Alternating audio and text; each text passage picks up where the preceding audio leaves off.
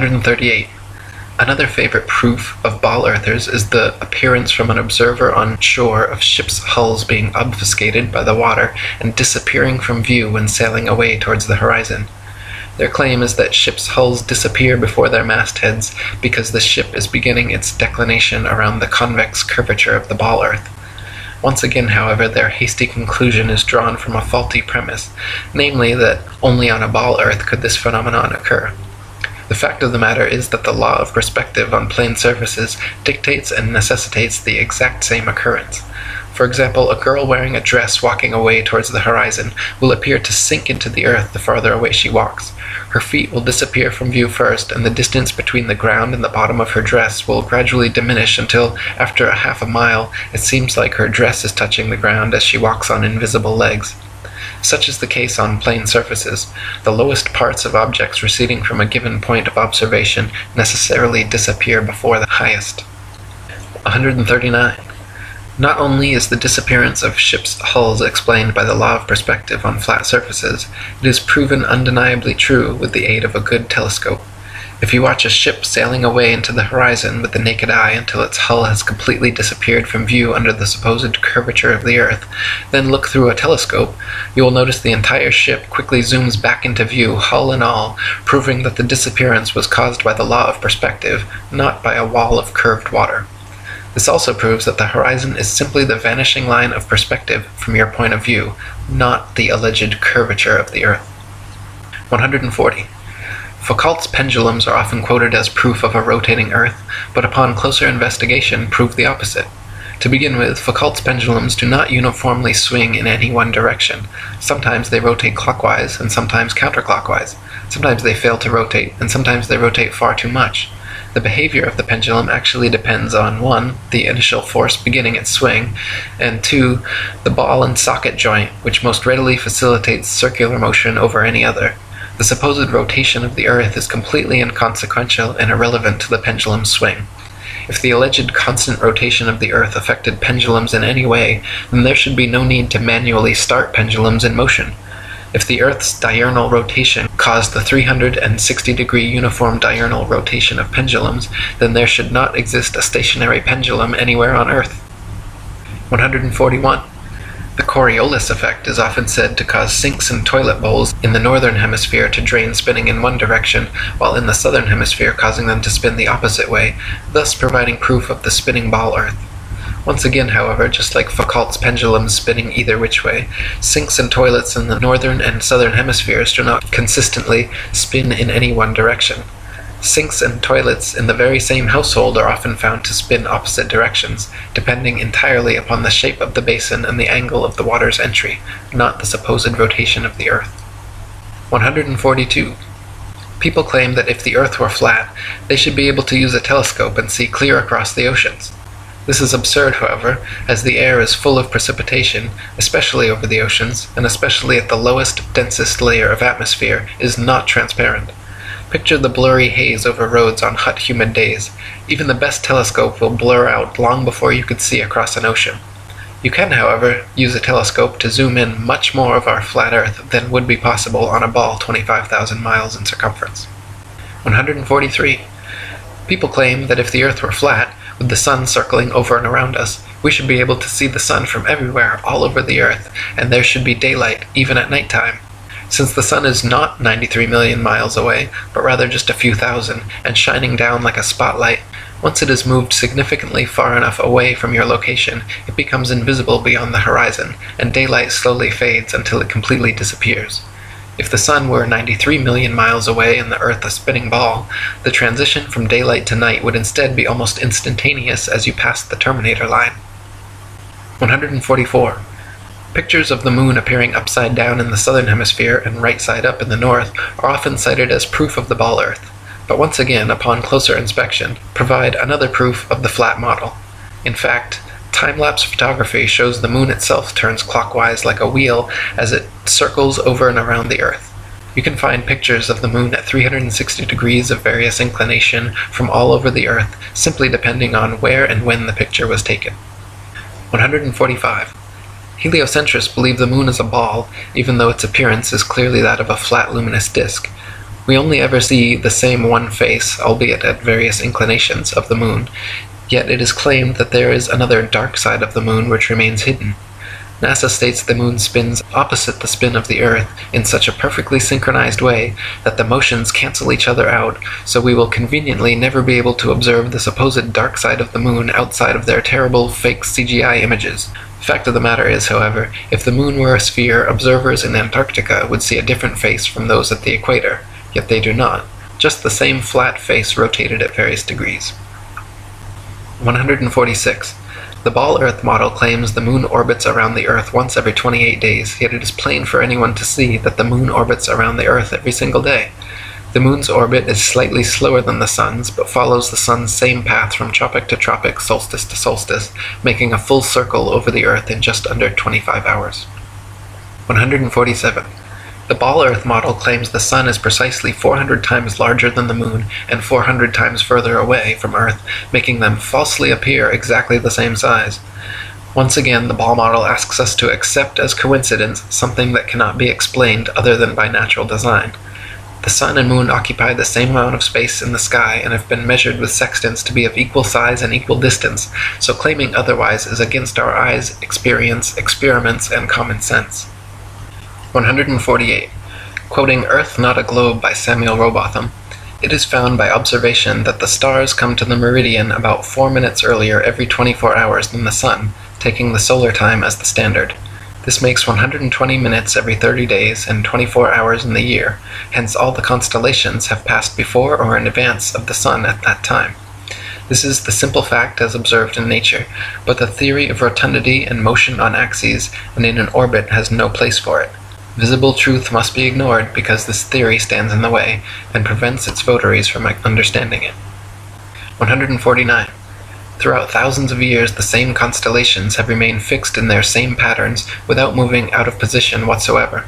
If the Earth were a big ball spinning around a bigger sun, spinning around a bigger galaxy, shooting off from the biggest bang, as NASA claims, it is impossible that the constellations would remain so fixed. Based on their model, we should, in fact, have an entirely different night sky every single night and never repeat exactly the same star pattern twice. 150. If Earth were a spinning ball, it would be impossible to photograph star trail time lapses turning perfect circles around Polaris anywhere but the North Pole. At all other vantage points, the stars would be seen to travel more or less horizontally across the observer's horizon due to the alleged thousand mile per hour motion beneath their feet. In reality, however, Polaris's surrounding stars can always be photographed turning perfect circles around the central star all the way down to the Tropic of Capricorn. 151. If Earth were a spinning ball revolving around the Sun, it would actually be impossible for star trail photos to show perfect circles even at the North Pole. Since the Earth is also allegedly moving 67,000 miles per hour around the Sun, the Sun moving 500,000 miles per hour around the Milky Way, and the entire galaxy going 67 million miles per hour, these four contradictory motions would make star trail time lapses all show irregular curved lines. 152. In 2003, three university geography professors collaborated in an experiment to prove that the state of Kansas is indeed actually flatter than a pancake.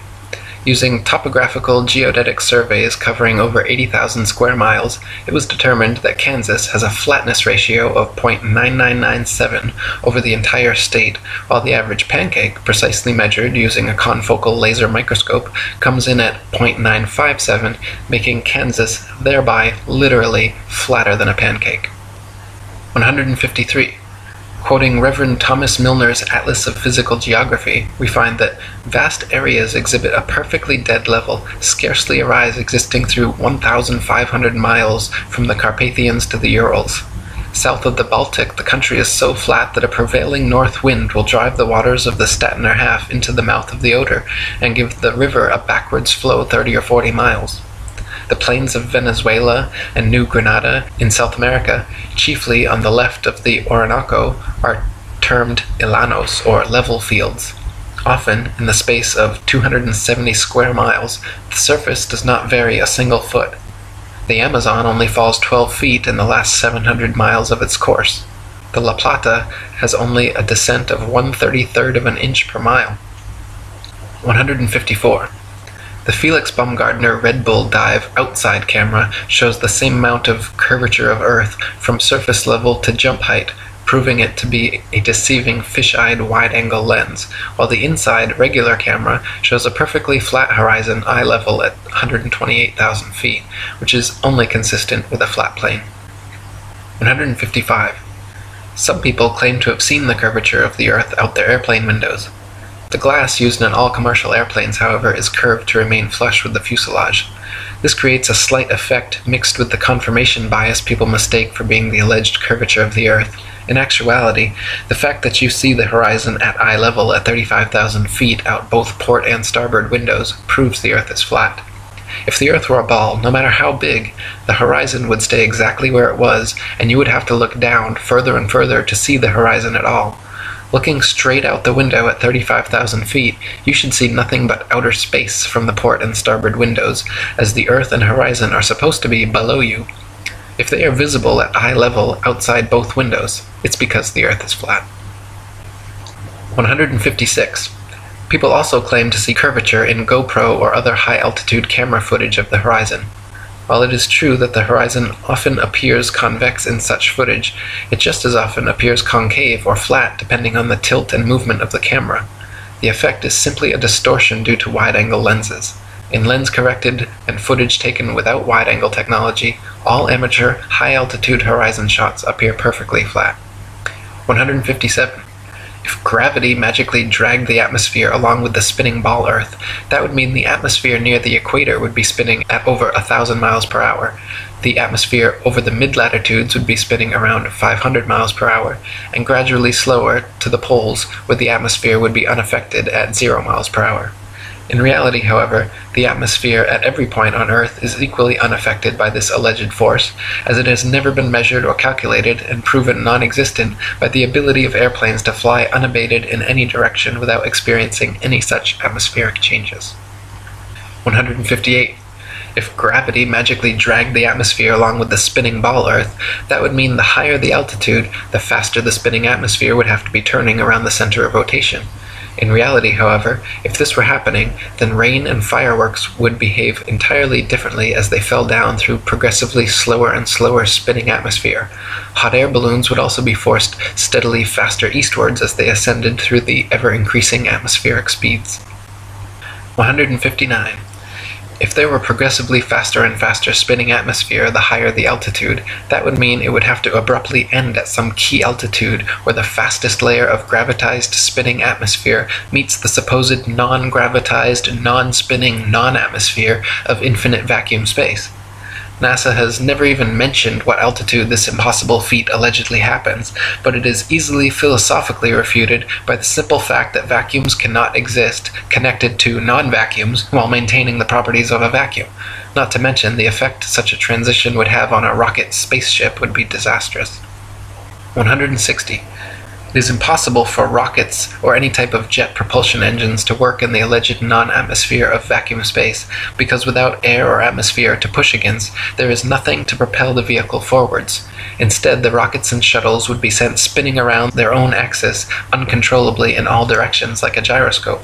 It would be impossible to fly to the moon or go in any direction whatsoever, especially if gravity were real and constantly sucking you towards the closest, densest body. 161. If Earth were really a ball, there would be no reason to use rockets for flying into outer space anyway, because simply flying an airplane straight at any altitude for long enough should and would send you off into outer space. To prevent their airplanes from flying tangent to the ball Earth, pilots would have to constantly course correct downwards, or else within just a few hours, the average commercial airliner traveling 500 miles per hour would find themselves lost in outer space. The fact that this never happens, artificial horizons remain level at pilots' desired altitudes and do not require constant downward adjustments, proves the Earth is not a ball. 162. All NASA and other space agencies' rocket launches never go straight up. Every rocket forms a parabolic curve, peaks out, and inevitably starts falling back to Earth. The rockets which are declared successful are those few which don't explode or start falling too soon, but make it out of range of spectator view before crashing down into restricted waters and recovered. There is no magic altitude where rockets or anything else can simply go up, up, up, and then suddenly just start free floating in space. This is all a science fiction illusion created by wires, green screens, dark pools, some permed hair, and zero G planes. 163. NASA and other space agencies have been caught time and again with air bubbles forming and floating off in their official outer space footage. Astronauts have also been caught using scuba space gear, kicking their legs to move, and astronaut Luca Parmitano even almost drowned when water started filling up his helmet while allegedly on a spacewalk. It is admitted that astronauts train for their spacewalks in underwater training facilities like NASA's Neutral Buoyancy Lab, but what is obvious from their space bubbles and other blunders is that all official spacewalk footage is also fake and filmed underwater. 164. Analysis of many interior videos from the International Space Station have shown the use of camera tricks such as green screens, harnesses, and even wildly permed hair to achieve a zero gravity type effect. Footage of the astronauts seemingly floating in the zero gravity of their space station is indistinguishable from Vomit Comet zero G airplane footage. By flying parabolic maneuvers, this zero G floating effect can be achieved over and over again, then edited together. For longer uncut shots, NASA has been caught using simple wires and green screen technology. 165. NASA claims one can observe the International Space Station pass by overhead, proving its existence. Yet analysis of the ISS seen through zoom cameras proves it to be some type of hologram or drone, not a physical floating space base. As you can see in my documentary ISS hoax, when zooming in and out, the ISS dramatically and impossibly changes shape and color, displaying a prismatic rainbow effect until coming into focus, much like an old television turning on and off. 166. The geostationary communications satellite was first created by Freemason science fiction writer Arthur C. Clarke and supposedly became science fact just a decade later. Before this, radio, television, and navigation systems like LORAN and Decca were already well established and worked fine using only ground based technologies. Nowadays, huge fiber optic cables connect the internet across oceans, gigantic cell towers triangulate GPS signals, and ionospheric propagation allows radio waves to be bounced all without the aid of the science fiction bestseller known as satellites. 167. Satellites are allegedly floating around in the thermosphere, where temperatures are claimed to be upwards of 4,530 degrees Fahrenheit. The metals used in satellites, however, such as aluminum, gold, and titanium, have melting points of 1,221, 1,948, and 3,034 degrees respectively, all far lower than they could possibly handle. 168. So-called satellite phones have been found to have reception problems in countries like Kazakhstan with very few cell phone towers. If the Earth were a ball with 20,000 plus satellites surrounding, such blackouts should not regularly occur in any rural countryside areas. 169. So-called satellite TV dishes are almost always positioned at a 45 degree angle towards the nearest ground-based repeater tower. If TV antenna were actually picking up signals from satellites 100 plus miles away in space, most TV dishes should be pointing more or less straight up to the sky. The fact that satellite dishes are never pointing straight up and almost always positioned at a 45 degree angle proves they are picking up ground based tower signals and not outer space satellites. 170.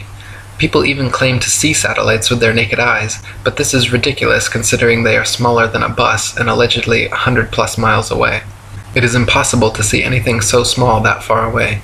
Even using telescopes, no one claims to discern the shape of satellites, but rather describes seeing passing moving lights, which could easily be any number of things, from airplanes to drones to shooting stars or other unidentified flying objects. 171.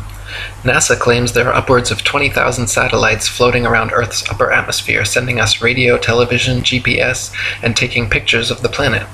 All these supposed satellite pictures, however, are admittedly composite images edited in Photoshop. They claim to receive ribbons of imagery from satellites, which must then be spliced together to create composite images of the Earth, all of which are clearly CGI and not photographs. If Earth were truly a ball, with 20,000 satellites orbiting, it would be a simple matter to mount a camera and take some real photographs. The fact that no real satellite photographs of the supposed ball Earth exist in favor of NASA's ribbons of composite CG imagery is further proof that we are not being told the truth. 172. If you pick any cloud in the sky and watch for several minutes, two things will happen. The clouds will move and they will morph, gradually changing shape. In official NASA footage of the spinning ball Earth, such as the Galileo time lapse video, however, clouds are constantly shown for 24 plus hours at a time and not moving or morphing whatsoever. This is completely impossible, further proof that NASA produces fake CGI videos, and further evidence that Earth is not a spinning ball. 173. NASA has several alleged photographs of the ball Earth which show several exact duplicate cloud patterns. The likelihood of having two or three clouds of the exact same shape in the same picture is as likely as finding two or three people with the exact same fingerprints. In fact, it is a solid proof that the clouds were copied and pasted in a computer program and that such pictures showing a ball shaped Earth are fakes. 174. NASA graphics artists have placed things like faces, dragons, and even the word sex into cloud patterns over their various ball Earth pictures.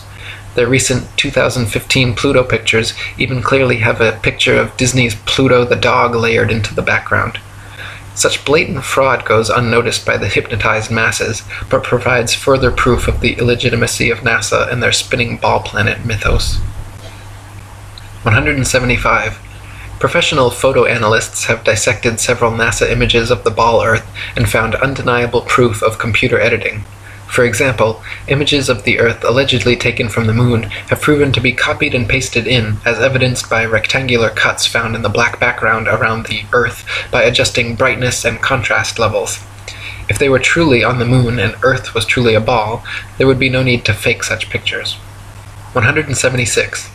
When NASA's images of the ball Earth are compared with one another, the coloration of the land and oceans and relative size of the continents are consistently so drastically different from one another as to prove beyond any reasonable doubt that the pictures are all fake. 177. In the documentary A Funny Thing Happened on the Way to the Moon, we can watch official leaked NASA footage showing Apollo 11 astronauts Buzz Aldrin, Neil Armstrong, and Michael Collins for almost an hour using transparencies and camera tricks to fake shots of a round Earth. They communicate over audio with Control in Houston about how to accurately stage the shot, and someone keeps prompting them on how to effectively manipulate the camera to achieve the desired effect. First, they blacked out all the windows except for a downward facing circular one, which they aimed the camera towards from several feet away. This created the illusion of a ball shaped Earth surrounded by the blackness of space, when in fact it was simply a round window in their dark cabin. Neil Armstrong claimed at this point to be 130,000 miles from the Earth, halfway to the moon. But when camera tricks were finished, the viewer could see for themselves the astronauts were not more than a couple dozen miles above the Earth's surface, likely flying in a high altitude plane. 178. People claim Google Earth somehow proves the ball model without realizing that Google Earth is simply a composite program of images taken from high altitude planes and street level car cameras superimposed onto a CGI model of a ball Earth. The same could just as easily be molded onto a square Earth or any other shape, and therefore cannot be used as proof of Earth's rotundity. 179. If the Earth were constantly spinning eastward a thousand miles per hour, then airplane flight durations going eastward versus westwards should be significantly different. If the average commercial airliner travels 500 miles per hour, it follows that westbound equatorial flights should reach their destination at approximately thrice the speed as their eastbound return flights. In reality, however, the differences in east and westbound flight durations usually amount to a matter of minutes, and nothing near what would occur on a thousand mile per hour spinning ball Earth. 180. The spinning ball model dictates that the Earth and atmosphere would be moving together at approximately 500 miles per hour at the mid latitudes where LA to New York City flights take place. The average commercial airliner traveling 500 miles per hour takes five and a half hours traveling east with the alleged rotation of the Earth, so the return flight west should take only 2.75 hours. But in fact, we find that the average New York to LA flight takes 6 hours, a flight time totally inconsistent with the spinning ball model. 181.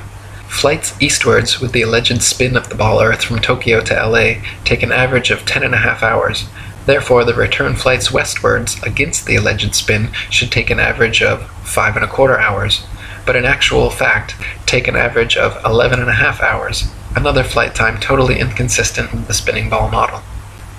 182. Flights eastward with the alleged spin of the ball Earth from New York to London take an average of seven hours.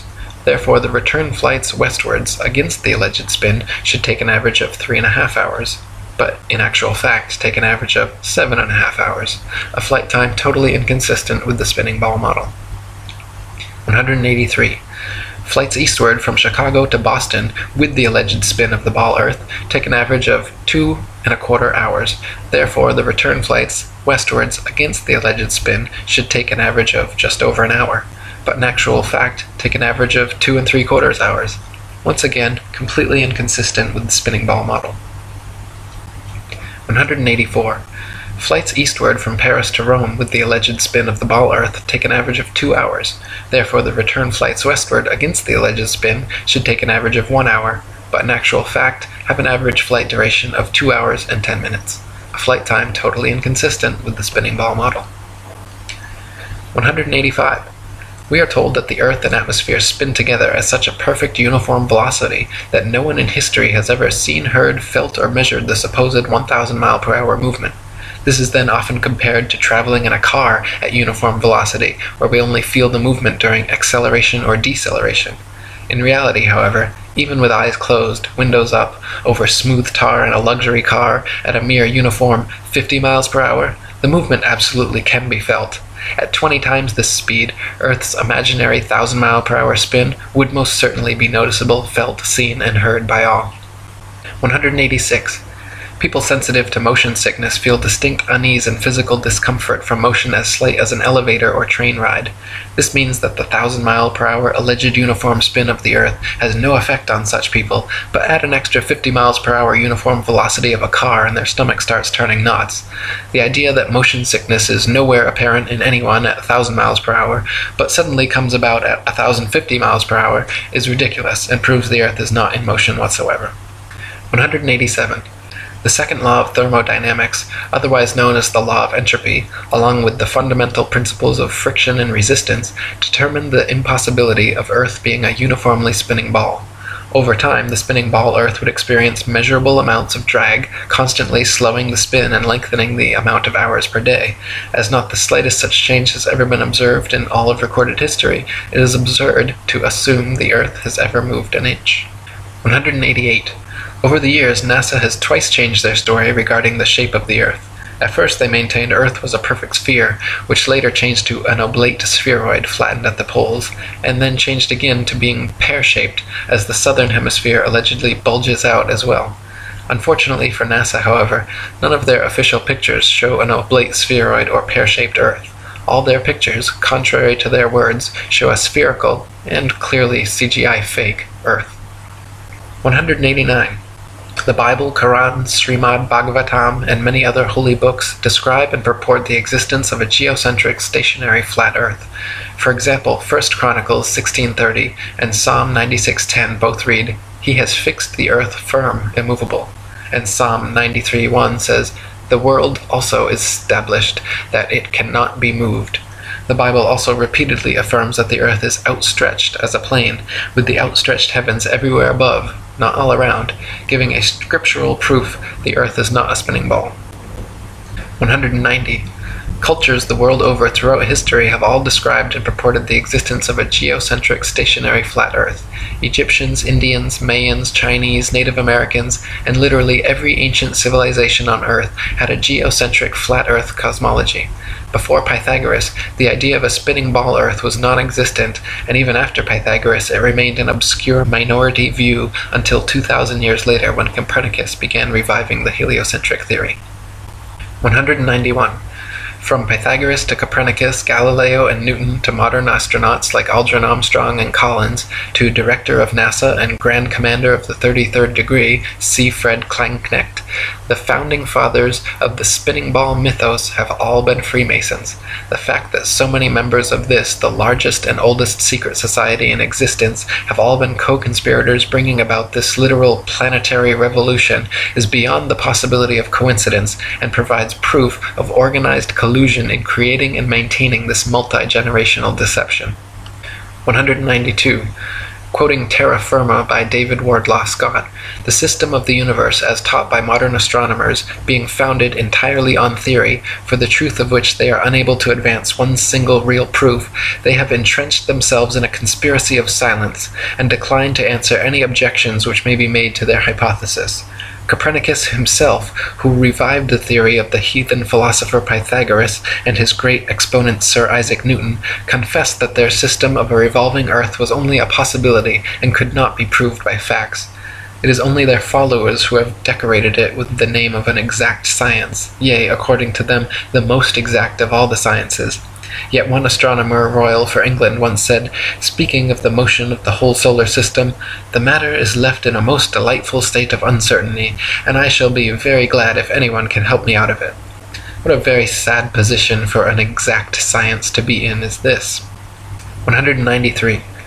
No child or unindoctrinated man in their right mind would ever conclude or even conceive, given to their own devices, based on their own personal observations, that the earth was a spinning ball revolving around the sun. Such imaginative theories, nowhere present in anyone's daily experience, require and have required massive amounts of constant propaganda to uphold the illusion. 194. From David Wardlaw Scott. I remember being taught when a boy that the earth was a great ball revolving at a very rapid rate around the sun, and when I expressed to my teacher my fears that the waters of the oceans would tumble off, I was told that they were prevented from doing so by Newton's great law of gravitation, which kept everything in its proper place. I presume that my countenance must have shown some signs of incredulity, for my teacher immediately added, I can show you a direct proof of this. A man can whirl around his head a pail filled with water without it being spilt, and so, in like manner, can the oceans be carried round the sun without losing a drop. As this illustration was evidently intended to settle the matter, I then said no more upon the subject.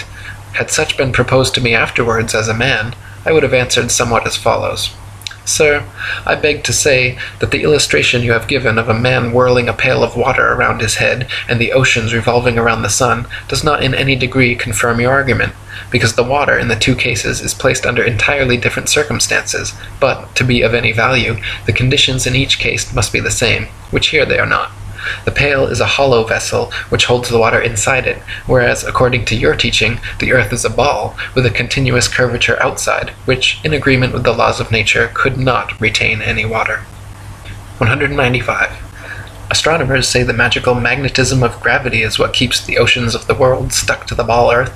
They claim that because the Earth is so massive, by virtue of this mass, it creates a magic force able to hold people, oceans, and atmosphere tightly clung to the underside of the spinning ball. Unfortunately, however, they cannot provide any practical example of this on a scale smaller than the planetary. A spinning wet tennis ball, for instance, has the exact opposite effect of the supposed ball Earth. Any water poured over it simply falls off the sides, and giving it a spin results in water flying off 360 degrees like a dog shaking off after a bath. Astronomers concede the wet tennis ball example displays the opposite effect of their supposed ball Earth, but claim that at some unknown mass, the magic adhesive properties of gravity suddenly kick in, allowing the spinning wet tennis ball Earth to keep every drop of gravitized water stuck to the surface. When such an unproven theory goes against all experiments, experience, and common sense, it is high time to drop the theory. 196. Quoting Marshall Hall. In short, the sun, moon, and stars are actually doing precisely what everyone throughout all of history has seen them do. We do not believe what our eyes tell us because we've been taught a counterfeit system which demands that we believe what has never been confirmed by observation or experiment. That counterfeit system demands that the Earth rotate on an axis every 24 hours at a speed of over a thousand miles per hour at the equator. No one has ever, ever, ever seen or felt such movement, nor seen or felt the 67,000 mile per hour speed of Earth's alleged orbit around the Sun, or its 500,000 mile per hour alleged speed around a galaxy, or its retreat from an alleged Big Bang at over 67 million miles per hour. Remember, no experiment has ever shown the Earth to be moving. Add to that the fact that the alleged rotational speed we've all been taught as scientific fact must decrease every inch or mile one goes north or south of the equator, and it becomes readily apparent that such things as accurate aerial bombing in World War II down a chimney from 25,000 feet with a plane going any direction at high speed would have been impossible if calculated on an Earth moving below at several hundred miles per hour and constantly changing with the latitude. 197. Some people claim there is no motive for such a grand scale deception and that flat or ball makes no difference. By removing Earth from the motionless center of the universe, these Masons have moved us physically and metaphysically from a place of supreme importance to one of complete nihilistic indifference. If the Earth is the center of the universe, then the ideas of God, creation, and a purpose for human existence are resplendent. But if the Earth is just one of billions of planets revolving around billions of stars in billions of galaxies, then the ideas of God, creation, and a specific purpose for Earth and human existence become highly implausible by surreptitiously indoctrinating us into their scientific materialist sun worship, not only do we lose faith in anything beyond the material, we gain absolute faith in materiality, superficiality, status, selfishness, hedonism, and consumerism. If there's no God and everyone's just an accident, then all that really matters is me, me, me. They've turned Madonna, the mother of God, into a material girl living in a material world. Their rich, powerful corporations with slick sun cult logos sell us idols to worship, slowly taking over the world while we tacitly believe their science, vote for their politicians, buy their products, listen to their music, and watch their movies, sacrificing our souls at the altars of materialism. To quote Morris Kline, the heliocentric theory, by putting the sun at the center of the universe, made man appear to be just one of a possible host of wanderers drifting through a cold sky. It seemed less likely that he was born to live gloriously and to attain paradise upon his death Less likely, too, was it that he was the object of God's ministrations. 198. Some say that the idea of an intergenerational worldwide conspiracy to delude the masses sounds implausible or unrealistic.